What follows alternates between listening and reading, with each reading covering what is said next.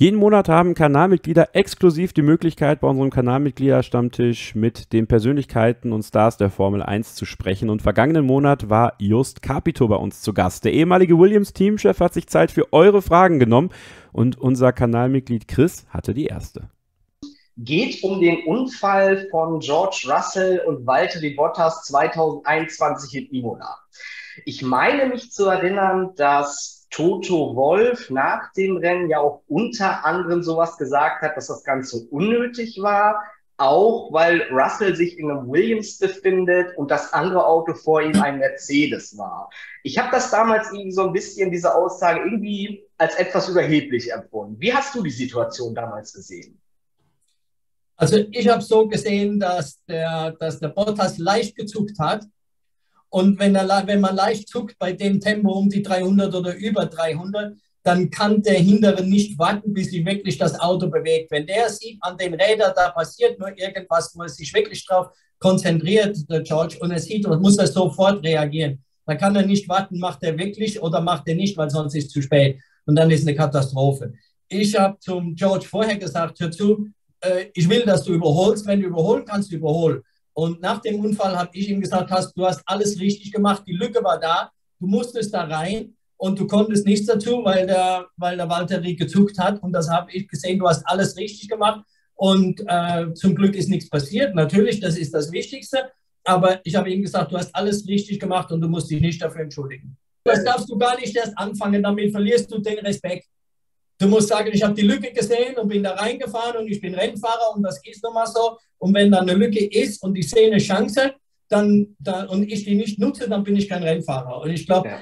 äh, seine Art ist, dass er erfolgreich ist und dass er wirklich bei Mercedes ist und auch äh, sagt dem, dem, vom Hamilton nicht den Respekt, er hat einen natürlichen Respekt, aber er hat keine Angst und er gibt da auch nicht nach. Und das ist seine Art. Und wenn man sich dann für sowas entschuldigt, habe ich gesagt, das ist das Anfang, der Anfang vom Ende. Das, das war nicht in Ordnung. Ihr wolltet natürlich auch wissen, Just, wie war das eigentlich mit deinem Aus bei Williams? Wurdest du rausgeworfen? Hast du gekündigt? War das geplant oder nicht? Just Capito hat uns nochmal in das Geschehen mitgenommen und uns erklärt, wie das Ganze abgelaufen ist.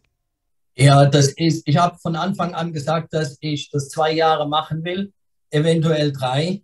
Und äh, es hat sich dann abgezeichnet, dass nach zwei Jahren war die Basis gelegt. Und äh, mein, am Anfang muss dann jemand reinkommen, der im Prinzip äh, den bösen Buben spielt, oder? Weil es muss mal aufgeräumt werden, es muss mal mit, mit einem harten Besen durchgekehrt werden, es muss umstrukturiert werden und damit macht man sich natürlich nicht nur Freunde, sondern, äh, aber das ist so. Und sagt, das ist, das, dafür bin ich auch zurückgekommen. Ich wollte ja eigentlich in Ruhestand und sagt, das kann ich zwei Jahre machen und kann dann in Ruhestand gehen. Und wenn dann die Basis gelegt ist, dann kann jemand kommen, der dann den Good Boy spielt, ja, der die Basis übernehmen kann, kann darauf aufbauen und, und ist dann eben der, der Gute. Der muss nicht mehr mit, dem, mit einem äh, starren Besen durchfegen. Und äh, ich glaube, das hat sich so ergeben. Und ich denke auch, das ist richtig, wenn man das so sieht. Ich, ich schätze den James Rawls sehr. Ich habe mit ihm gut zusammengearbeitet in den beiden Jahren. Äh, äh, er hat ja auch die Fahrer betreut und wir hatten ja die gemeinsamen äh,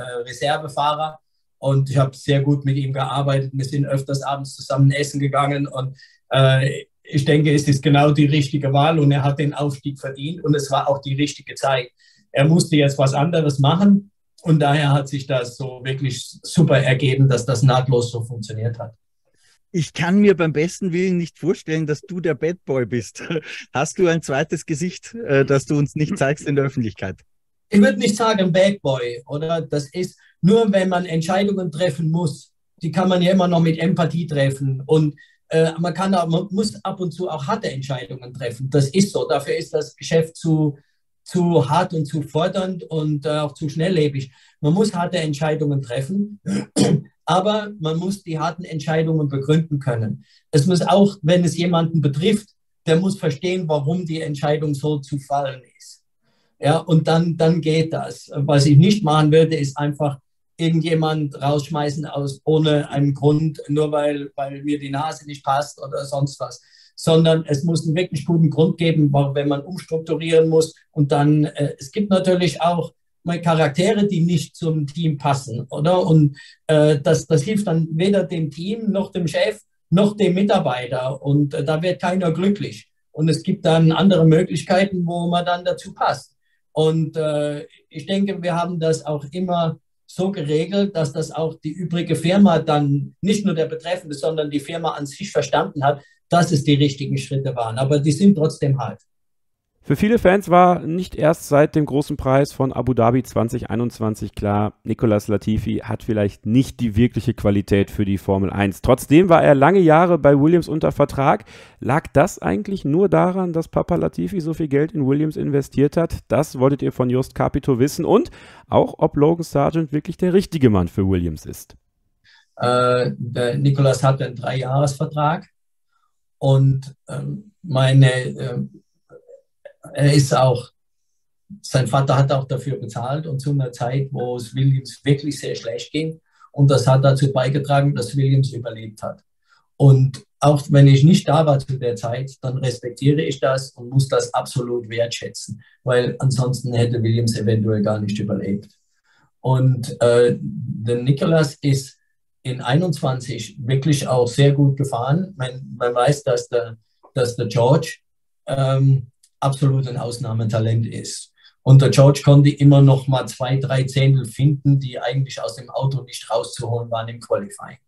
Und wenn der Nicky zwei, drei Zehntel dahinter war, dann hat er das Auto auch äh, ist wirklich gut gefahren. Und er hat auch sehr gute Rennen gefahren. Nur als der Vertrag nach drei Jahren, also Ende letztes Jahr ausgelaufen ist, wenn man das Team dann äh, nach vorne bringen will, man muss auch mal Änderungen machen. Ja, es, nach, nach drei Jahren ist eigentlich, äh, muss man sich überlegen, äh, dass der neue Besen kehren gut. Und dazu ist dann gekommen, dass der Logan Sargent, den wir, den wir unterstützt haben in der Formel 2, den wir schon vorher auf dem Schirm hatten, der dann in der Academy war. Und wir gesehen, speziell Silverstone, wo er ein sensationelles Wochenende hatte letztes Jahr, ich glaube, war Silverstone, wo man gesehen hat, dass er fahrerisch in der Lage ist, ähm, ein Formel-1-Auto zu fahren. Ich, meine Philosophie ist immer, man muss einen jungen Fahrer so früh wie möglich ins Formel-1-Auto setzen und ihm dann die Zeit geben. Weil dann ein zweites Jahr in der Formel 2 lernt er überhaupt nichts dazu. Er wird eigentlich nur ein Jahr älter. Wenn er in der Lage ist, von der Technik her, von, vom, vom ganzen Umfeld in der Formel 1 zu fahren. Und das hat man gesehen, dass er das kann. Und äh, daher äh, war es richtig, ihn möglichst früh ins Formel 1 Auto, Formel 1 Auto zu setzen, weil alles andere wäre vertane Zeit.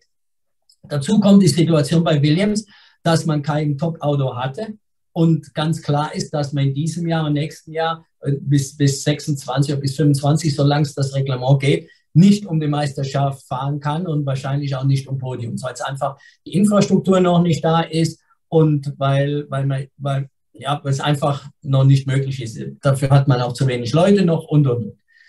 Und dass man in der Zeit, das ideale Zeitpunkt ist, jemanden jungen Fahrer aufzubauen, ihm die Chance zu geben und dann in 25, 26, dann hat er zwei, drei Jahre Erfahrung und ist dann auf einem Niveau, wo er wirklich äh, ja, was, was reißen kann.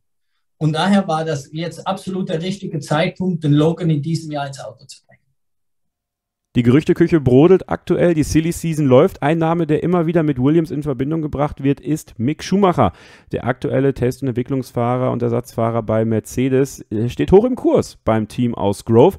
Er könnte Logan Sargent 2024 ersetzen, wenn dessen Leistungen weiter unter dem Niveau bleiben, was man sich bei Williams wünscht. Das wolltet ihr natürlich auch wissen. Just, was glaubst du? Mick bei Williams, könnte das passen? Ich glaube, dass es relativ schwierig ist, weil ich denke, der Alex sitzt fest im Sattel und ich denke nicht, dass irgendeiner den Alex loswerden möchte bei Williams. Und äh, Logan macht auch keinen Sinn zu ersetzen, weil man sieht, er ist auf einem, auf einem guten Weg. er wird im Qualifying besser, wird im Rennen besser. Es sind jetzt viele Strecken, die er nicht gekannt hat.